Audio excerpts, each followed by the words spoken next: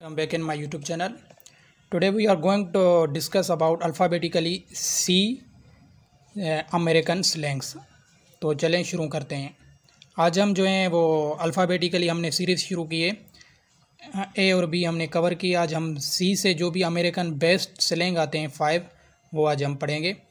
तो सबसे पहले जो हमारे पास स्लैंग है अमेरिकन का वो है शेक लिखने में ये चिक लगेगा, मगर इसका प्रोनाउंसिएशन शिक होगा। तो इसकी क्या माना है कि ये अमेरिकन इंग्लिश में ऐसे बोलते हैं कि जो स्टाइलिश होता है फैशनेबल होता है, जो भी हम बोलते हैं अपनी नॉर्मल इंग्लिश में किसी को स्टाइलिश है या कोई फैशनेबल है तो अमेरिकन इंग्लिश में उसे हम शिक भी बोल सकते हैं।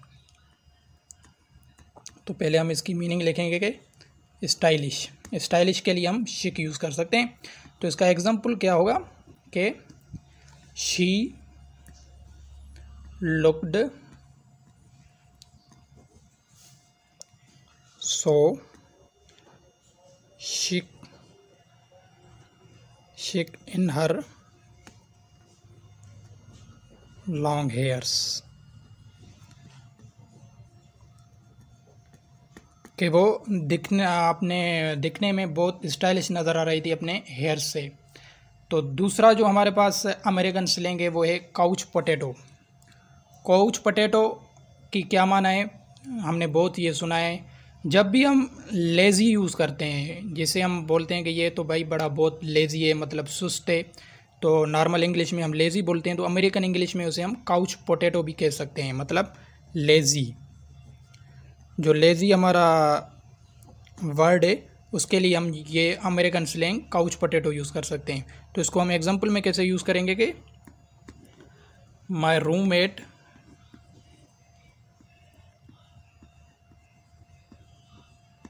roommate is couch potato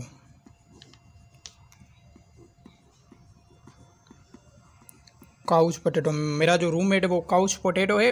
मतलब लेजी है। He watching television for seven hours straight मतलब वो सात घंटों से कंटिन्यूसली टेलीविज़न पे बैठा हुआ है। मतलब कोई और काम नहीं कर रहा मतलब पूरा का पूरा लेजी है तो उसके लिए हम काउच पोटैटो यूज़ कर सकते हैं। तीसरा हमारे पास जो अमेरिकन स्लेंग है वो है क्रोक क्रोक हम किस चीज़ के लिए यूज़ करते हैं? पहले तो हम क्रोक को देखेंगे, ये क्रोक एनिमल्स के साउंड से लिया गया है। मतलब जब भी एनिमल या कोई हमारा बर्ड मर जाता है तो उसके साउंड आता है, क्रोक से, क्रोक साउंड होता है उसका तो हम समझ सकते हैं उसकी डेथ हो चुकी है। तो अमेरिकन इंग्लिश में भी ये क्रोक टू डाई को रेफर करता है मतलब किसी चीज़ का मर जाना। The old man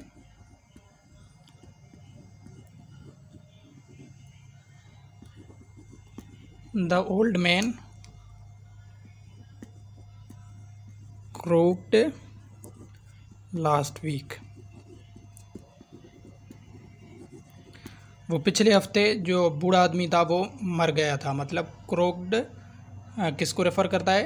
to die को मतलब मर जाने को। चौथे नंबर पे हमारे पास आता है कि cut a deal.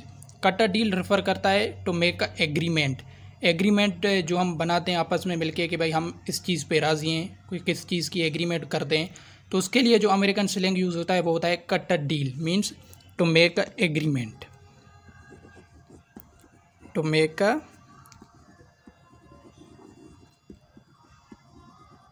agreement के लिए. मीन्स इसको एग्जांपल में हम डेली लाइफ में कैसे यूज़ कर सकते हैं कि we cut a deal with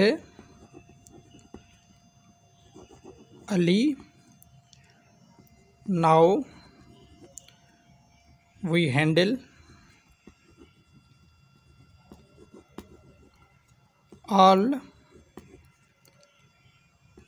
their accounts कि हमने जो है अली से मेक एग्रीमेंट कर लिए अब, अभी जो हम उसके पूरे के पूरे अकाउंट चला रहे हैं मतलब cut a deal means to make a agreement means उसके साथ हमने एग्रीमेंट कर लिया और लास्ट नंबर पे हमारे पास आता है, ये भी बहुत अच्छा अमेरिकन स्लैंग है कि cut and dry cut and dry हम उससे बोलते हैं जिसमें किसी चीज़ की क्वेश्चन ना रहे मतलब पूरी की पूरी चीज़ क्लियर हो मतलब everything will be clear cut and dry किस चीज़ को रेफ़र करता है कि क्लियर को, जिसमें फर्दर कोई भी एक्सप्लेनेशन ना हो, पूरा का पूरा जो भी हमने बताया हो, वो क्लियर हो। तो इसको हम एग्जांपल में कैसे यूज़ कर सकते हैं कि stop questioning stop questioning, the topic topic is cut and dry के सवाल पूछना बंद करें, जो टॉपिक था वो क्लियर है मतलब कट एंड ड्राई है वो क्लियर है, उसमें कोई भी फर्दर एक्सप्लेनेशन नहीं है। तो आज ये पाँच थे अमेरिकन स्लैंग्स इंशाल्लाह नेक्स्ट वीडियो में डी अल्फ़ाबेटिकली हम पढ़ेंगे American slangs thank you so much